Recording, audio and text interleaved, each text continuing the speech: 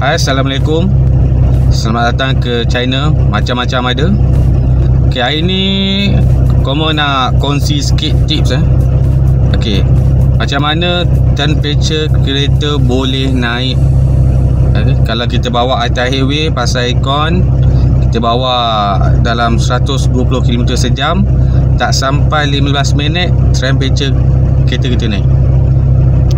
Okay Mesti mesti korang dah pernah tukar tangki air Mesti korang juga dah pernah tukar water pump Mesti korang dah buat head baru.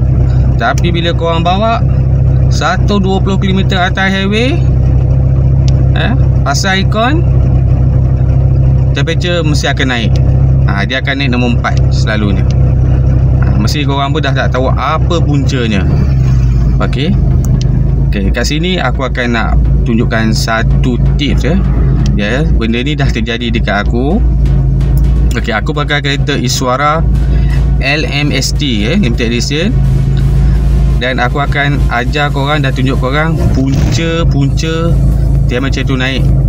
Ya, selama ni mungkin korang dah buat banyak kos habis tapi stay juga terjadi dan dengan tutorial ini Aku akan tunjukkan korang Punca-punca Kenapa temperature itu naik Bila korang bawa atas highway 120 km sejam Pasal aircon Temperature naik.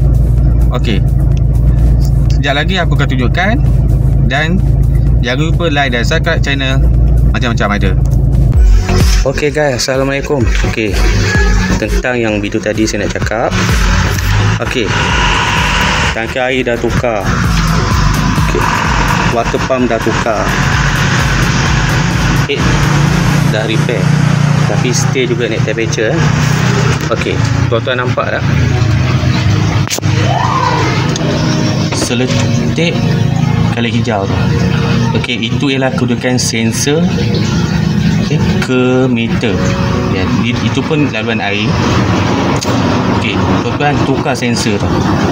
Ok dia punca pada sensor ni lah kadang-kadang sensor ni kotor itu yang bacaan temperature dekat meter tidak betul. Ok ok saya rasa ini saja video saya kali ini ok jangan lupa like dan subscribe channel macam-macam ada. Assalamualaikum